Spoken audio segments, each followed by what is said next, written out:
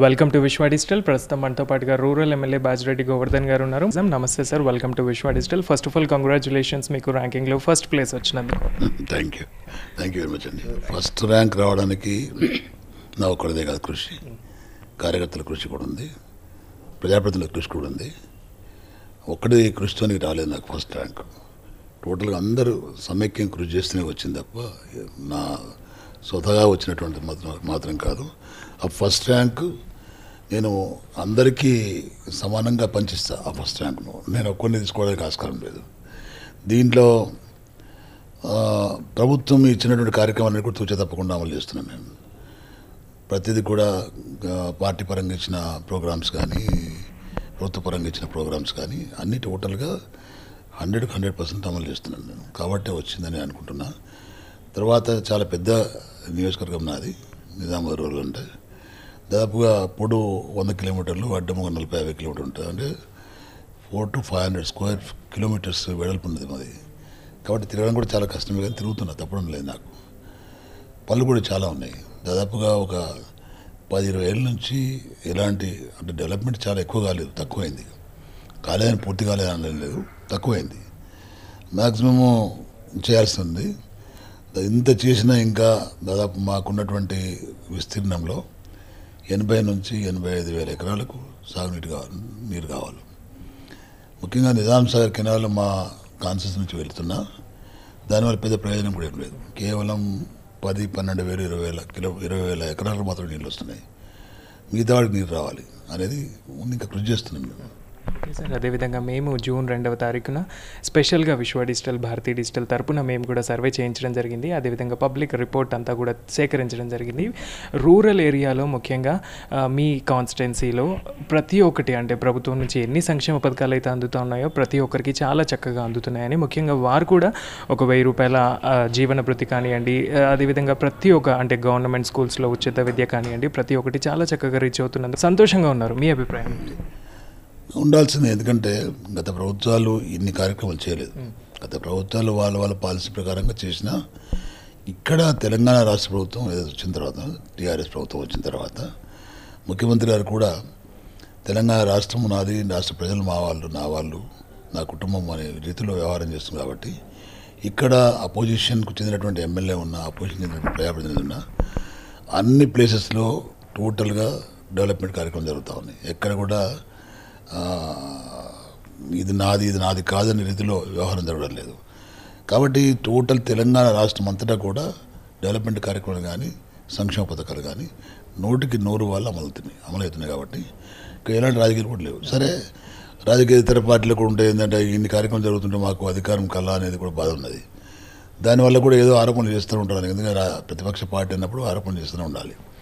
అది పసలేని ఆరోపణలు చేస్తూ వాళ్ళు పొద్దుగడుపుతున్నారు తప్ప ప్రజలకు వారు చెప్పే మాటలు ఏవి ఎక్కడ లేదు. ఎందుకంటే వారు చెప్పేటన్ని అబద్ధాలు అనేది తెలిసిపోయింది ప్రజలకు. కాబట్టి జరుగుతూ ఉన్నాయి.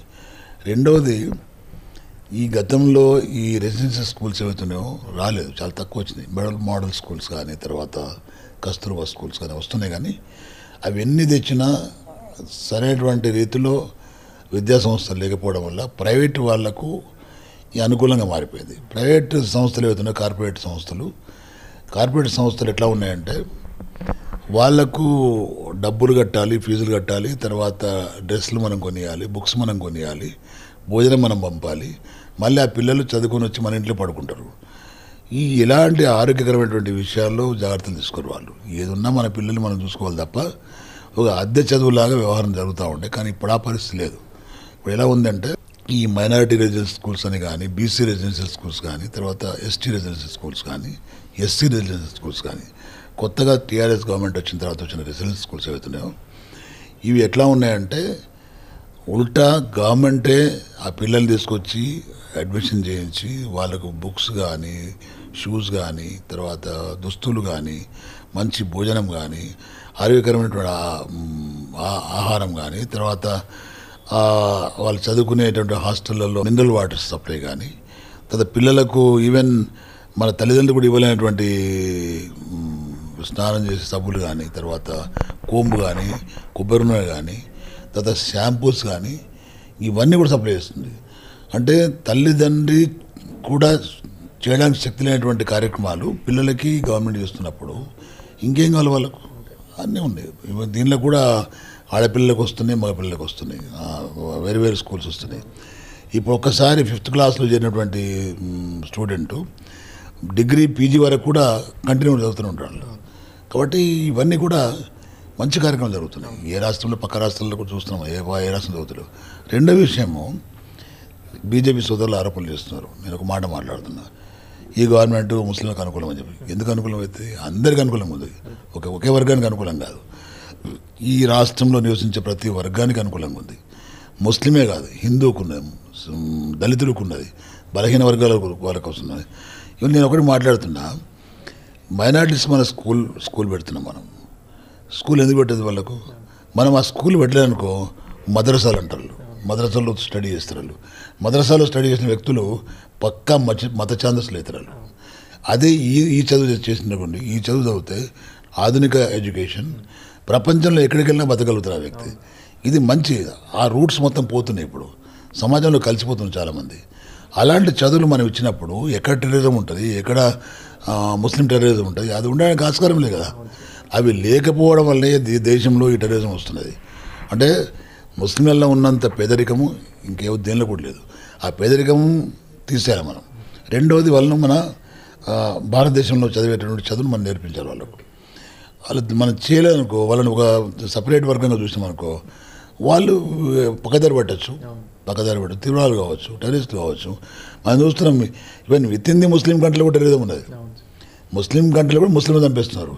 కానీ మనకి మన కంట్రీలో ఆ పరిస్థితి లేదు. స్పెషల్లీ తెలంగాణలో అది రాదు. అంత మంచి కార్యక్రమం జరుగుతున్నాయి మనకు. వాళ్ళు రిజర్వేషన్ పెడుతున్నారు. Okay right. పెట్టని తప్పే ఉన్నది. అన్ని బంజారాలకు రిజర్వేషన్ పెడుతున్నారు. టెన్ టెన్ పర్సెంట్ బీసీలకు కూడా పెట్టే పరిస్థితి ఉన్నది. అన్నప్పుడు ఎటుబట్టి ఈ ప్రభుత్వము మాకేం చేయడం లేదు అనే ఆలోచన ఏ వర్గానికి రావద్దు. అది వస్తే మనకు పక్కదారి పడతారు యువత అనేది. ఆలోచించి ఈ ప్రభుత్వం ఈ కార్యక్రమాలు చేస్తుంది. ముఖ్యమంత్రి గారు ఈ కార్యక్రమాలు చేస్తున్నారు. రైట్ సార్ అదేవిధంగా ఇప్పుడు మీ కాన్స్టిట్యున్సీకి సంబంధించి బీసీ గురుకుల పాఠశాలలు ఎక్కడెక్కడ ప్రారంభించడం జరిగింది? బీసీకి మనకి మనకి ఇచ్చింది ఒకటి ఇచ్చింది ఇప్పుడు. చివన్పల్లిలో చేసినాం మేము. తర్వాత ఎస్టీ రెండు వచ్చినాయి మనకు. ఒకటి ఇందరాలో ఇచ్చినాము ఒక చివన్పల్లి ఇచ్చినాం చివన్పల్లి ఎందుకు ఇచ్చినాం రెండు అంటే చిమ్మన్పల్లి ఒక రిమోట్ ఏరియా అది. నా సొంత గ్రామమైన? అది రిమోట్ ఏరియా. ఆ ఏరియా మొత్తం ఫారెస్ట్ ఏరియాలో ఉన్నటువంటి గ్రామం అది. అక్కడ ఎలాంటి డెవలప్మెంట్కి నోచుకోలేదు అనుకో గతంలోనే తీవ్రవాదులకు నిలయంగా ఉండే ఆ ఏరియా అంతా. ఇప్పుడు ఆ పరిస్థితి లేదు. మానాల్లో ఒకటి ఇచ్చినాం మనం. మన ఎస్టీ గురుకుల పాఠశాల. ఇవాళ చివన్పల్లి ఇచ్చినాం. అక్కడ ఉండడం వల్ల ఏమైందంటే ప్రతి సెకండ్ సాటర్డే వాళ్ళ పేరెంట్స్ తల్లిదండ్రులు అక్కడ వెళ్ళడం పిల్లల్ని కలవడము ఆ ప్రాంతం ఇంప్రూవ్ అవుతుంది వ్యాపారం పెరుగుతుంది ఎడ్యుకేషన్ హబ్గా మారిపోతుంది ఆ ప్రాంతము డెవలప్మెంట్ జరిగే ఆస్కారం ఉన్నది అనే ఉద్దేశంతో అక్కడ పెట్టినాం మేము. ఇంకా ఫర్దర్లో ఇంకా ఇస్తున్నాడు ముఖ్యమంత్రి గారు మళ్ళీ నెక్స్ట్ ఇయర్ కూడా ఇస్తున్నాడు. నెక్స్ట్ ఇయర్ కూడా మళ్ళీ ఇంకెక్కడ లేని కాడ పెట్టాలి మనం. ఇది ఆలోచన చేసి పెడుతున్నాడు రెండవది ఏంటంటే నా కాన్స్టిట్యూన్సీలో ఈ కొత్తగా క్రియేట్ చేసిన మండలాలు ఏవైతున్నాయో మండల వ్యవస్థలో భాగంగా కొత్త క్రియేట్ చేసిన మండలాలు నేను ఏదైతే ఏర్పాటు చేసినామో ఏ ఒక్క మండలంలో కూడా ఇబ్బంది రాలేదు. ఇది ఒక గ్రామంలో ఇబ్బంది రాలేదు. ఎవరిని అడగలే కూడా నేను నాదిని ఆలోచించి పెట్టేసినవి ప్రతి ఒక్కరు సంతోషంగా ఉండరు. అంటే ప్రజలు కూడా మంచి వాళ్ళు ఉన్నారు వాళ్ళకి అనుగుణంగా మనం వ్యవహారం చేస్తున్నాం కాబట్టి ఈ వల్ల ఫస్ట్ ర్యాంక్ రావడానికి కారణము ప్రభుత్వం మీద ఒక నమ్మకం ఏర్పడడం కారణం. ఇప్పుడు మీ కాన్స్టెంటీకి సంబంధించి అన్ని గ్రామాల్లో అసలు ఎంత మెంబర్షిప్ ఉందనేది అండ్ వారికి ఏ అవసరాలు ఉన్నాయనేది ముఖ్యంగా ప్రజలు పొద్దున్న లేవగానే మీ ఇంటి ముందట కనిపిస్తూ ఉంటారు. వారి సమస్యలు ఏంటో మీకు తెలుసు కాబట్టి మీరు చక్కగా ఆలోచించి ఆ నిర్ణయం తీసుకున్నారు. చాలా బాగుంది. అండ్ ఇంకోటి ఈసారి కొత్తగా అంటే స్కూల్స్ ఆల్రెడీ స్టార్ట్ అయిపోయినాయి. బడిబాట కూడా స్టార్ట్ అయిపోయింది. అండ్ ముఖ్యంగా కేసీఆర్ గారు కొత్తగా కేసీఆర్ కిట్ అంటూ కూడా పంపిణీ చేస్తూ ఉన్నారు కదా. దాని పట్ల మీ అభిప్రాయం? కేసీఆర్ కిట్ అనేది ఏది ఉందో అది జనరల్గా ఎట్లా అంటే ఈ గర్భిణి దాల్చినటువంటి స్త్రీలు ఎవరుతున్నారో వాళ్ళకు మూడు విడతలా ఇస్తున్నారు డబ్బులు. ఏది? కేసీఆర్ కిట్ కాకుండా వాళ్ళకు ఒక ప్రజెంటేషన్ జస్ట్ లైక్ గర్భిణి దాల్చినాక మూడు నెలలకు ఒక టీకా తీసుకోవాలని లేకపోతే ఏదో ఇంజక్షన్ తీసుకోవాలని అప్పుడు ఒక మూడు వేల రూపాయలు ఇవ్వడము ప్రస్తుతం అయిన తర్వాత ఐదు వేల రూపాయలు ఇవ్వడం తర్వాత మూడు నెలలకు మళ్ళీ పిల్లల్ని తీసుకొచ్చి మళ్ళీ వాళ్ళకి టీకాలు ఇప్పించడంలో మళ్ళీ ఒక మూడు వేలు ఇట్లా టోటల్గా ట్వెల్వ్ థౌజండ్ పన్నెండు వేల రూపాయలు ఇస్తారు. దానిలో ఆడపిల్ల పుడితే పదమూడు వేలు మగపిల్ల పుడితే పద పన్నెండు వేలు ఇస్తున్నారు వన్ థౌజండ్ ఎక్స్ట్రా ఇస్తున్నాడు. అయితే ఈ విషయం ఏంటంటే విషయం ఏంటంటే ఇక్కడ ప్రసూతి అయిన తర్వాత ఆ పిల్లల ఆ- తల్లికి పిల్లకి కలిపి ఒక కిట్ ఇస్తున్నాడు కేసీఆర్ గారు. ఆ కిట్లో ఎంత బాగున్నాయంటే ఆ కిట్లో తల్లికి దొంగతన బిడ్డకు దొంగతన చిన్నది. అది పడుకోవడానికి పరుపు చిన్నగా. రెండు చీరలు వాళ్ళకు. తల్లికి బిడ్డకు కలిపి సోప్స్ సబ్బులు షాంపూలు కొబ్బరి నూనె ఒక సూట్ కేసు బ్రీఫ్ కేసు. తర్వాత ఇవన్నీ చేసిందంటే వాళ్ళు తల్లి బిడ్డ ఆరోగ్యకరంగా ఉండాలి. ఎందుకంటే మనం చూస్తున్నాం పేదవాళ్ళ ఇళ్ళల్లో ప్రసూతి అయితే చాలా మురిగ్గా ఉంటాయి. ఇండ్లు మురిగ్గా ఉంటాయి. బట్టలు మురిగ్గా ఉంటాయి. దానిలో పక్కకు రోగాలు వస్తాయి. పిల్లలకు వస్తాయి. తల్లికి వస్తాయి. ఇవి రావద్దు. నా తెలంగాణ ఇది నా తెలంగాణ ప్రజలు ఆరోగ్యంగా ఉండాలి అనే ఒక మంచి ఆలోచనతోటి ఈ కేసీఆర్ కిట్ అనేది పెట్టి పంపిణీ చేస్తున్న విధంగా అందరూ ఆశ్చర్యపోతున్నారు. దీనికి ఆ పిల్లలు ఆడుకోవడానికి కూడా ఆట వస్తువు కూడా ఇస్తున్నాడు అలా. అది ఎవరు చేయలేదు. అంత మంచి వస్తువులు ఇచ్చే కిట్ పేరే కేసీఆర్ కిట్.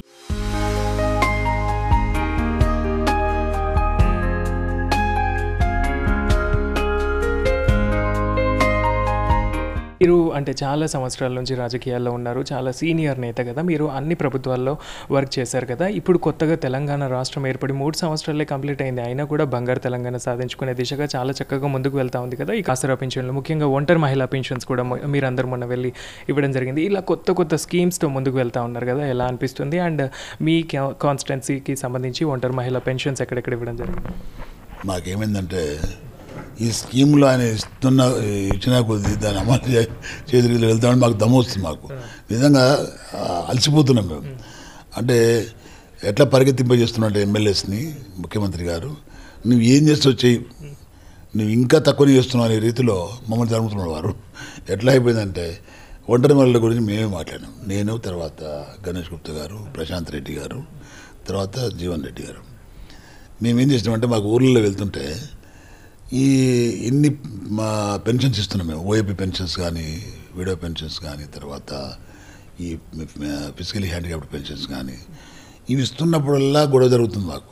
ఎందుకబ్బా అని ఆలోచిస్తేంది అక్కడ బీడీ పెన్షన్స్ ఇచ్చేటప్పుడు బీడీ వర్కర్స్ ఎవరుతున్నారో వాళ్ళకి ఇచ్చేటప్పుడు ఏమవుతుందంటే ఒక ఇంట్లో ఇద్దరు ఆడపడుచులు ఉన్నారు అనుకోండి అంటే యారాలు అంటారు కదా ఉన్నారు ముగ్గురు ఉన్నారు అనుకోండి యారాలు అప్పుడు ఏమవుతుందంటే అప్పుడు ఏమవుతుందంటే ఒకరింట్లో తల్లి అత్త మామ ఉంటారు.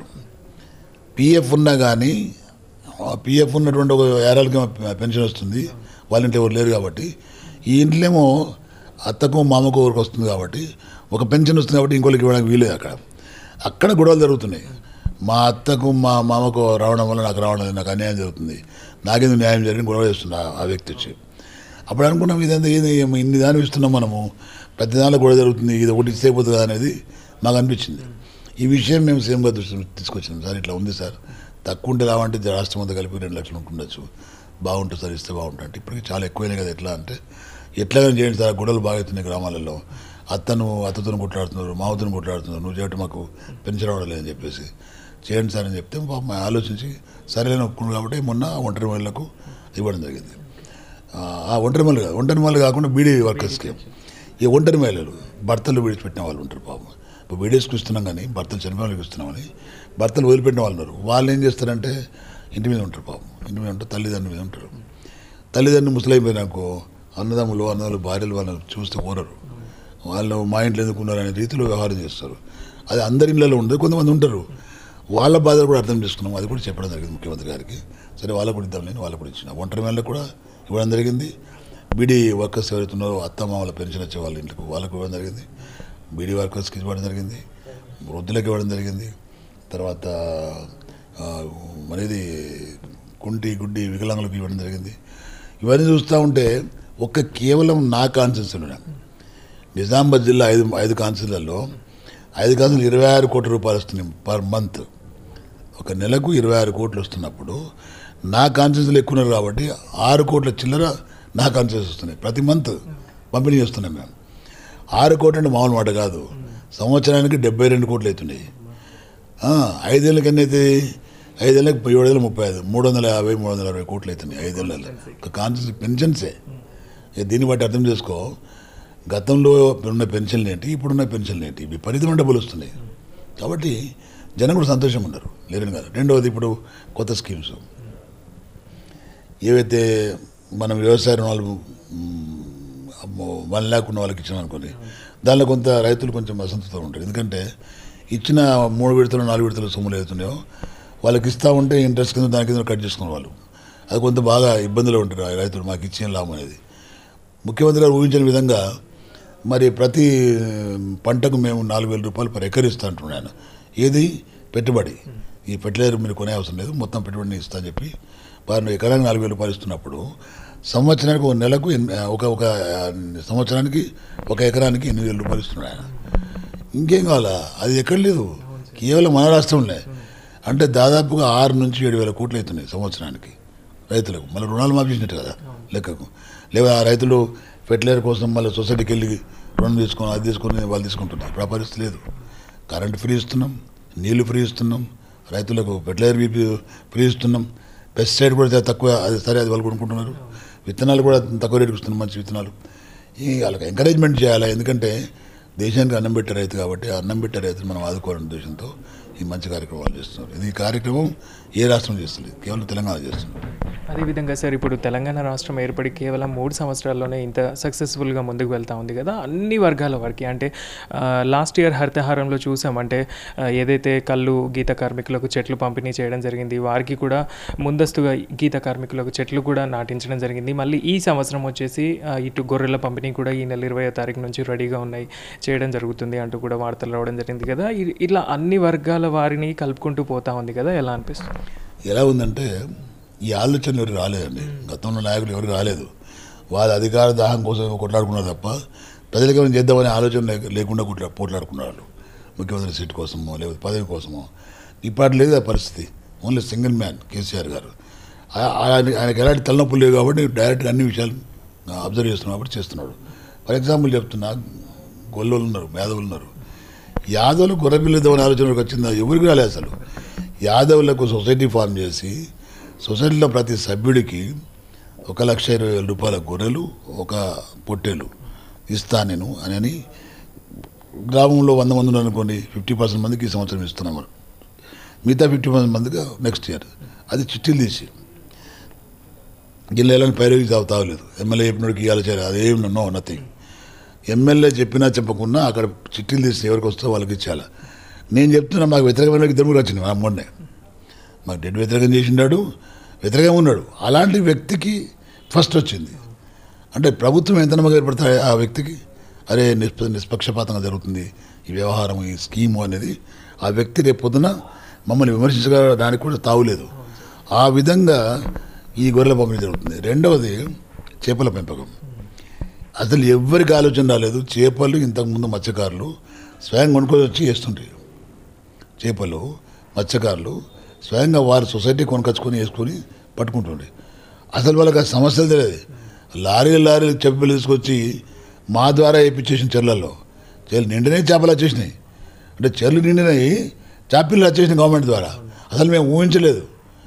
ఇప్పుడు ఇప్పుడు మేము వేసిన చెర్లలో వేసిన ఒక్కో చేప చిన్న చిన్న చిన్న చేపలు వేస్తే ఇప్పుడు కిలో కిలోన్నర రెండు కిలోలు అయింది చేపలు. ఎంత లాభం వాళ్ళకు? అంతకుముందు ఏమవుతుందంటే వాళ్ళు తేవడానికి కొనుకొస్తుండ్రి ఎవడో బ్రోకర్ ఉంటుండే మధ్య మధ్య దళారి. మధ్య దళారి లేడు వాళ్ళే అమ్ముకోవాలా. ఎక్కడే ఎక్స్పోర్ట్ చేసుకొని. ఎగ్జాంపుల్ చెప్తాను మీకు నేను. ఆంధ్రప్రదేశ్ ఉంది ఇప్పుడు పక్క రాష్ట్రం. ఆంధ్రప్రదేశ్కు దాదాపుగా ఓ వెయ్యి కిలోమీటర్ల తీరం ఉన్నది. సముద్ర తీరం. వాళ్ళు విపరీతం చేపలు పట్టుకోవచ్చు. ఇక్కడ చేపలు పడుతున్నారు తింటున్నారు వాళ్ళు ఎక్స్పోర్ట్ చేస్తున్నారు వాళ్ళు. ఇక్కడ ఎలాంటి సముద్రం లేదు తెలంగాణలో. అంచు కూడా లేదు. అలాంటి తెలంగాణలో రైతాంగం కానీ తర్వాత ప్రజలు కానీ మనము పెంచుకున్న చేపలు మనం తింటూ వేరే దేశానికి ఎక్స్పోర్ట్ కూడా చేయొచ్చు. అంత మంచి కార్యక్రమం చేసింది వారు. కాబట్టి ఇంత మంచి ఆలోచించే వ్యక్తి ముఖ్యమంత్రి ఎక్కడ లేడు.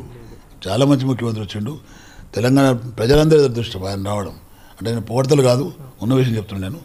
ఇన్ని ఆలోచనలు ఇన్ని కార్యక్రమాలు ఎవరు చేయలేదు. రెండవది హరితహారం ఉంది. టెన్ పర్సెంట్ ల్యాండ్ ల్యాండ్లో అంటే దాదాపు హండ్రెడ్ పర్సెంట్లో ఒక thirty one thirty five thirty four percent ల్యాండ్లో ఫారెస్ట్ ఉండాలి. ఉంటేనే వాతావరణం సమతి ఎటువంటి సమానంగా ఉంటుంది వాతావరణం. ఇప్పుడు ఏమైంది? టెన్ పర్సెంట్ తక్కువ ఉంది కాబట్టి వర్షాలు అప్పుడు పడుతున్నాయి అప్పుడు పడతలేవు. ఈ టెన్ పర్సెంట్ ఫారెస్ట్ పెట్టాలనే ఆలోచనతోటి మాకు తెలియదు అసలు. ఈయన ముఖ్యమంత్రి గారు ఎప్పుడైతే వర్షాలు పడుతున్నాయో మొక్కలు వచ్చేసినాయి. చాలా హరిదారం చేయాలని చెప్పేసి. అంతకుముందు ఎక్కడ పెంచిండు ఏం కదా మాకు కూడా లేదు అసలు. విపరీతంగా మొక్కలు వచ్చినాయి దుమ్ము దుమ్ము పెట్టేసినాం. సరే కొంత ఎండిపోతుండొచ్చు. ఎన్ని ఎండిపోయినా కానీ చివరికి కొన్ని మిగులుతాయి కదా. ఎన్ని ఎండిపోతున్నాయి ఇంత ఖర్చు చేస్తున్నా డిస్ట్రాయ్ చేసినటువంటి అటవీ ఏదైతుందో కొంతనే పెరుగుతుంది కదా. జంగలు వేస్తున్నాం ఫారెస్ట్లు వేస్తున్నాం మన వ్యవసాయ భూములు వేస్తున్నాం మనం గవర్నమెంట్ ప్లేసెస్లు వేస్తున్నాం మనం. చెరువు కట్టలు వేస్తున్నాం మనం. అంటే రకరకాల వనాలు పెంచుతున్నప్పుడు వర్షాలు కూడా మంచిగా కురుస్తాయి మనకు కదా? దాన్ని బట్టి చూసి ఇవన్నీ ఎట్లా సమా సమానంగా ఉండాలి ఈ వాతావరణం కరెక్ట్గా ఉండాలనే ఉద్దేశంతో ఇవన్నీ చేస్తుంది కాబట్టి మాకు సంతోషం ఉంది. ఆల్రెడీ వర్షాకాలం స్టార్ట్ అయింది కదా ఇక మిషన్ కాకతీయ ఫేజ్ త్రీ పనులు ఎక్కడెక్కడ స్టార్ట్ చేయడం జరిగింది. అదేవిధంగా ఇప్పుడు వర్షాకాలం స్టార్ట్ అయింది కాబట్టి హరితహారానికి సంబంధించి ఎక్కడెక్కడ ప్లాన్ చేసుకోబోతా ఉన్నారు? మిషన్ కాకతీయలో భాగంగా నా దగ్గర ఫస్ట్ అండ్ సెకండ్ దాదాపు అయిపోయినాయి. ఫస్ట్ ఫేజ్ సెకండ్ ఫేజ్ దాదాపు అయిపోయినాయి. చాలా బాగా జరిగిన పనులు. అంటే ఎట్లా జరిగినాయి అంటే మేము ఫస్ట్ అండ్ సెకండ్ ఫేజ్లో చేసినటువంటి చెరువులు ఏవైతున్నాయో ఆ చెరువులు ఉన్నటువంటి సమస్యలు ఏవైతున్నాయో అంటే అలుగు రిపేర్ చేయడము లేకపోతే తూము కొత్త పెట్టడము లేకపోతే కట్టలు బండ్ స్ట్రెంగ్ చేయడము లేకపోతే సిల్ట్ తీయడము దీనిలో కూడా విమర్శిస్తున్నారు. తప్పదు. ఎందుకంటే ఒక వందేళ్ళ కింద పోసిన చెరువులు అవి. వందేళ్ళ కింద పోసిన చెరువులకు నేను కాంగ్రెస్ ప్రభుత్వం నేనున్నా గతంలో టీడీపీ గవర్నమెంట్ కూడా ఉండే ఎవ్వరు కూడా ఈ చెరుకు ఇరవై లక్షలు కావాలంటే చెప్పుతున్నారు గవర్నమెంట్. ఒక ఇరవై లక్షలు లక్షలు కావాలి సార్. అలుగు జరిపోయింది ఇది తూము జరిపోయింది కావాలంటే అసలు ఇవ్వకపోతుండే. ఇవ్వలే ఇవ్వడం అడుగుడు లేదు. ఎస్టిమేట్ తయారు చేస్తున్నాం ప్రజలను అడుగుతున్నాం ఏం కావాలని? ఇవి కావాలంటే అంత మటు డబ్బులు వస్తాయి. కోటి రూపాయలు కూడా వస్తున్నాయి. ఈవెన్ రెండు కోట్లు కూడా వచ్చినాయి మా కాన్సెస్లో అంటే ఇంకేం కావాలి చెప్పు? మొత్తం రిపేర్ చేయడం వల్ల ఇవల్ల చెర్లల్లో సిల్ట్ తీసేయడం వల్ల తర్వాత లీకేజ్ కాకుండా చేయడం వల్ల చెర్ల నీళ్ళు అట్లే ఉన్నాయి. గ్రౌండ్ వాటర్ వచ్చింది. కింద ఉన్నటువంటి ఆయకట్టు మొత్తం బారింది. మీరు చూస్తున్నారు నిన్న మొన్న జరిగినటువంటి వేసంగి పంటకు. వర్షాకాలం పంట కంటే వచ్చింది. ధాన్యం. అంటే వర్షం పడ్డది దానికి తోడు చెరువులు బాగాయి కాబట్టి ఇవన్నీ జరిగినాయి. వర్షం పడితేనే పడ పడకుండా చెరువులు బాగితేనే అయినాయి అంటే వర్షం పడ్డది చెరువులు బాగా బాగున్నాయి. నీళ్ళు ఆగినాయి కాబట్టి ఇవి జరిగినాయి. అంటే ఎంత పంట వచ్చింది మనకు? ఉత్పత్తి ఎంత వచ్చింది? దానివల్ల ఆర్థికంగా ఎంత ఎదుగుతాడు రైతు? ఇవాళ రైతులు వాళ్ళు పండించిన పంట లాగుదామంటే లారీ దొరకలే మాకు. విపరీతంగా విమర్శకు గురయ్యాం మేము. కానీ రైతులు మాకు సంతోషం ఉన్నాం ఒక ఎకరానికి అచ్చా దానిలో తీసిన సెల్ట్ కూడా వేసుకున్నారు చేలల్లో. దానిలో కూడా బలం వచ్చింది. ఒక ఎకరానికి యాభై నుంచి అరవై బస్తాలు వచ్చినాయి ధాన్యం. కాబట్టి బాగా చాలా బాగుంది. అదేవిధంగా మేము థర్డ్ థర్డ్ ఫేజ్ కూడా ఆల్రెడీ ఇచ్చినాం మేము. వచ్చిన సంఖ్యలు వచ్చినాయి. మా దగ్గర అరవై తొమ్మిది చెట్లు వచ్చింది థర్డ్ ఫేజ్లో ముప్పై తొమ్మిది ముప్పై తొమ్మిది కోట్ల బడ్జెట్ వచ్చింది. అన్నీ స్టార్ట్ అయింది సార్ ఏది కూడా ఆగలేదు. అవి మొత్తం స్టార్ట్ ఆ, మన ఫేజ్ త్రీ మొత్తం మిషన్ దాకా స్టార్ట్ అయింది. హరితహారం కూడా ప్లాన్ తయారైపోయింది గవర్నమెంట్ ద్వారా. వాళ్ళు ఇచ్చిన పిలుపు అందగానే ఇమీడియట్గా అన్నీ కూడా స్టార్ట్ చేస్తున్నాం అదేవిధంగా మేము కూడా మన విశ్వ డిజిటల్ నుంచి ఏదైతే పబ్లిక్ టాక్ని నిర్వహించామో అంటే మీ కాన్స్టిట్యున్సీకి సంబంధించి రూరల్ ఏరియాలో ఉన్న వారందరూ కూడా చాలా సంతోషంగా ఏంటంటే ఇంట్లో ఒక నలుగురు ఉంటే భర్తకి ఉపాధి హామీ కింద పని దొరుకుతూ ఉంది. అక్కడ ఉన్న ఏదైతే భార్య ఉంటుందో తనకి బీడీ పింఛన్ వస్తూ ఉంది. ముఖ్యంగా వాళ్ళ ఇంట్లో ఏదైతే అత్త వాళ్ళు ఉంటారో వృద్ధాప్య పింఛన్ దొరుకుతూ ఉంది. పిల్లలు గవర్నమెంట్ స్కూల్లో ఫ్రీగా చదువుకుంటున్నారు. ముఖ్యంగా పిల్లలకి కూడా ఆహార పథకం మధ్యాహ్న ఆహార పథకం ద్వారా భోజనము అదేవిధంగా ఏదైనా అనారోగ్యం వస్తే గవర్నమెంట్ హాస్పిటల్లో ఉచిత విద్య చాలా సంతోషంగా అన్ని చక్కగా అందుతున్నాయంటూ చెప్తా ఉన్నారు. ఎలా అనిపిస్తుంది? నేను రాజశేఖర్ గారి భయంలోనే ఎమ్మెల్యేగా ఉన్నాను నేను. గత ప్రభుత్వాల కంటే ఆయన ప్రభుత్వం బాగా చేసింది. నేను గర్వంగా ఒప్పుకుంటాను కానీ ఇప్పుడు దానికంటే ఎక్కువ చేస్తుంది గవర్నమెంట్. రాజశేఖర్ గారి కంటే ఎక్కువ చేస్తుంది. అప్పుడు వారు బాగా చేసిండ్రు. అప్పుడు నేను అనుకున్న గత ప్రభుత్వం కంటే రాజశేఖర్ గారు బాగా చేసిందని. కానీ ఇప్పటి ప్రభుత్వం అంతకంటే బాగా చేస్తుంది. రాజశేఖర్ గారి కంటే ఎక్కువ బాగా చేస్తుంది. కాబట్టి సంతోషం నాకు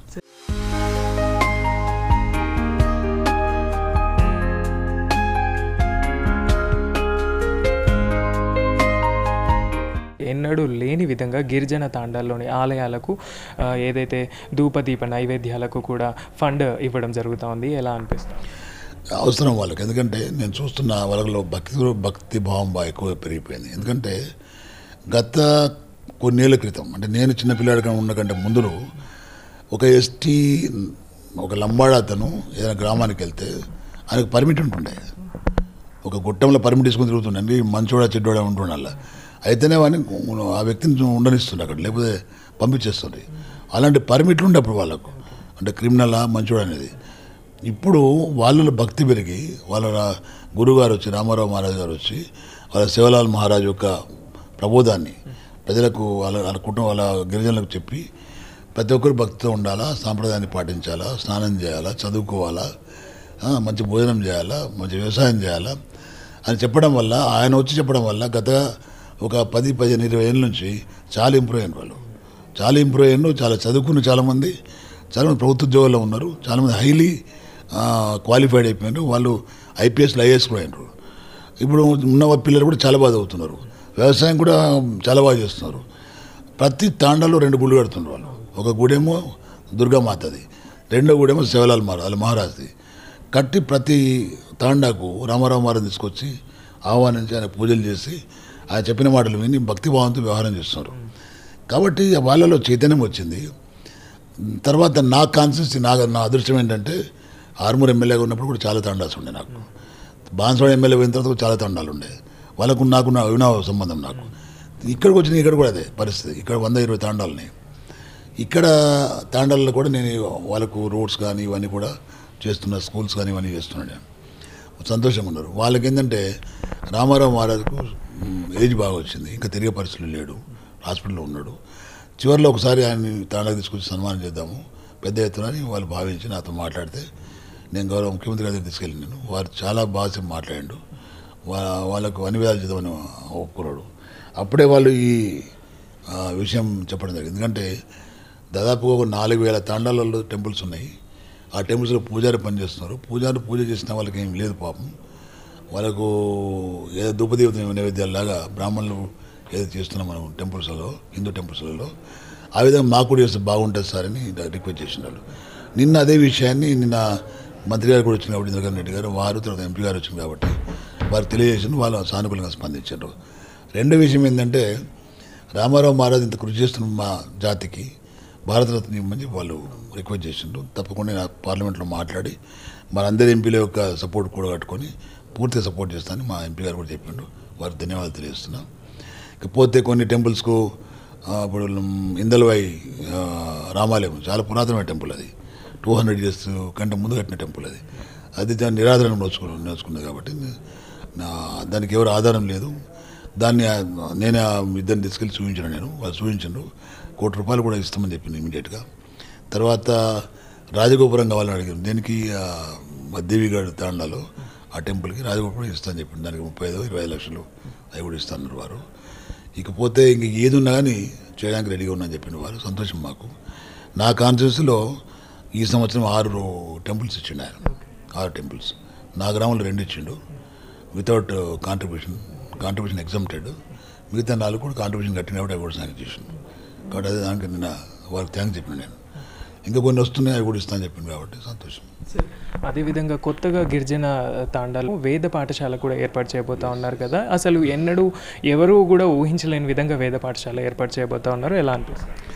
అంటే జనరల్గా ఎట్లుంటారంటే బ్రాహ్మణులు సంస్కృతం చదివిన వాళ్ళకు వేద పాఠశాల పెట్టి వాళ్ళని చదివిస్తారు అక్కడ. మంత్రాలు వేద మంత్రాలు జపిస్తే అది దేవతల భాష కాబట్టి ఆ భాష కావాలి. ఆ భాషలో మంత్రాలు చదివితేనే దేవుడు మాకు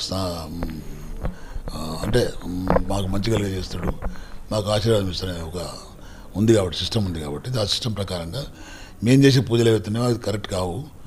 వేద పాఠశాల పెట్టి దానిలో వేదాలు చదివిన తర్వాత వాళ్ళు వచ్చి పూజాలుగా వ్యవహారం చేస్తే బాగుంటుంది ఉద్దేశంతో మాకు సపరేట్గా వేదశాల కావాలని చెప్పారు కాబట్టి పెడతాను కూడా వారు ఒప్పుకున్నారు మంచి మాట అది మంచి చాలా మంచి మాట. ప్రతి ఒక్కరి చూపు మిషన్ భగీరథ వైపే ఉంది. ఇక మీ కాన్స్టిట్యున్సీకి సంబంధించి ఈ మిషన్ భగీరథ వర్క్స్ ఎక్కడి వరకు అవ్వడం జరిగింది? అండ్ ఇప్పుడు వర్షాకాలం ప్రారంభం అవుతా ఉంది కదా ఈ వర్క్స్ ఎప్పుడు వరకు కంప్లీట్ కావచ్చు?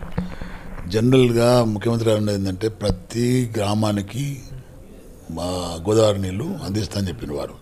అది ఆల్మోస్ట్ అవుతాయి. ఎందుకంటే నా కాన్స్టిట్యూన్సీలో జకరాన్పల్లి మండలం పూర్తయినాయి. ఫస్ట్ ఫేజ్లో మిగతా అన్ని ఒక వన్ ఇయర్లో అయిపోతాయి. ఎందుకంటే మెయిన్ మెయిన్ వర్క్స్ ఏవైతున్నాయో ఇందలవాయిలో జరుగుతుంది ఒకటి అరుగులో జరుగుతుంది. తర్వాత ఇంకోటి ఇటు జలాల్పూర్ సైడ్లో జరుగుతుంది కాబట్టి ఇవన్నీ సిస్టమ్స్ అన్నీ అయిపోయిన తర్వాత ప్రతి గ్రామానికి పైప్ లైన్ కూడా పడుతున్నది. అవి అయిన తర్వాత నీళ్ళు వస్తాయి తప్పకుండా. నీళ్ళు వచ్చిన తర్వాత ప్రతి ఇంటికి నల్లాలు పెట్టుకునే బాధ్యత మాకు అప్పగించారు. ఇంట్రావాక్స్ ఆ ఇంట్రావాక్స్ కూడా జరుగుతుంది కొంచెం తక్కువ రెస్పాండ్ అవుతున్నారు.